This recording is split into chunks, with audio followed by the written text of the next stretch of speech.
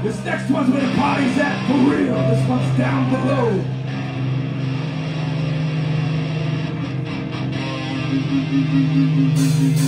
below.